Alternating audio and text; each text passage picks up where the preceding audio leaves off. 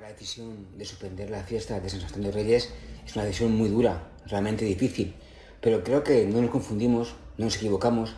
ya, no solo por el respeto a los fallecidos y a sus familias, sino por lo que estamos viviendo y estamos viendo que realmente esa segunda oleada puede llegar a venir. Entonces creo que es una, decisión eh, muy consensuada, una decisión realmente estudiada y que realmente cuando decidimos no hacerlo, creo que al final acertamos plenamente.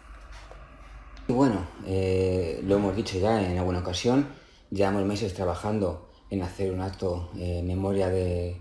los fallecidos y las personas que realmente han ayudado durante esa pandemia y estamos esperando, estamos trabajando, estamos viendo a ver cuándo realmente lo podemos llegar a hacer, porque realmente es que va a hacer un acto grande, pero en la situación actual creo que es precipitado poner una fecha adecuada para hacerlo. Bueno, realmente, como te he dicho, estamos trabajando en, muchas cosas, ¿no? Y si no usted hace algo pensando en nuestras fiestas, los encierros que no se pueden realizar este año. Pero como te he dicho, eh, con la situación actual que tenemos, es precipitado decir vamos a hacer algo en esta fecha, porque realmente eh, si se han suspendido las fiestas, se han suspendido los eventos culturales, los eventos deportivos,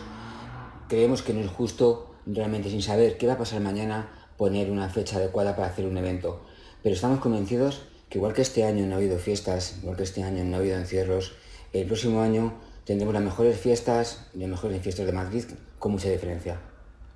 Eh, dentro de la responsabilidad de este equipo de gobierno están pensar en los más necesitados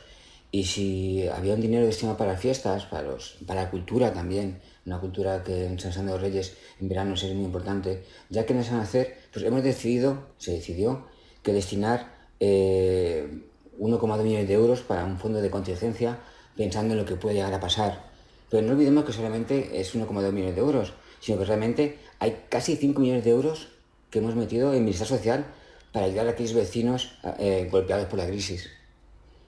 Obviamente nos movemos en un escenario de máxima prudencia, siempre con la vista puesta en los datos de contagios y de rebotes. Creo que todos queremos salir de esta situación,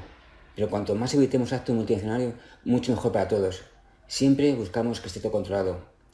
Eh, hemos estado viendo cómo los campos deportivos han estado funcionando con todas las medidas de seguridad posibles. Eh, tenemos que decir que también eh, la programación del Teatro Adolfo Marsillat, que ya empieza en octubre, está en marcha. Por lo tanto, las cosas se están haciendo poco a poco, despacio, pero siempre con muchísima seguridad.